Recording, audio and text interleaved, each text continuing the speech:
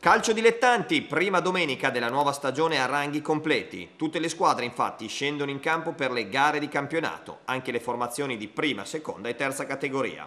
Se in Serie D il Piacenza affronta la gara di Lecco senza tifosi, qualifica del campo Lariano, ma con il morale a mille dopo la bella vittoria di domenica scorsa, anche il Pro vuole dare seguito alle imprese di Coppe Campionato a Budrio e Gozzano. Al Siboni arriva l'esperta e temibile Olginatese.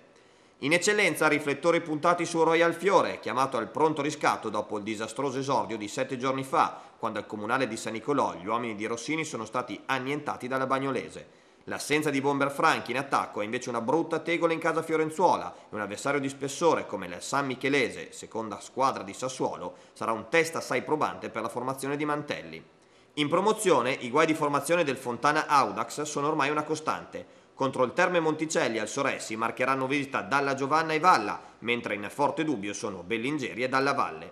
Turno che sulla carta si preannuncia piuttosto agevole per la Castellana, che farà visita alla Calcio Casalese.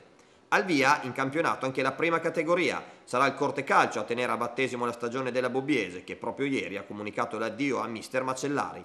L'ex giocatore dell'Inter paga un precampionato disastroso. In panchina, nelle classiche vesti di traghettatore, il vice Tiziano Guagnini. Spicca però la super sfida di Carpaneto, i super favoriti uomini di Paganini ospiteranno il temibilissimo Baby Brasil, mentre la Gazzanese, in attesa di una risposta da Bomber Modafferi che potrebbe essere tesserato la prossima settimana per far coppia con Burgazzoli in attacco, parte alla volta di Bardi.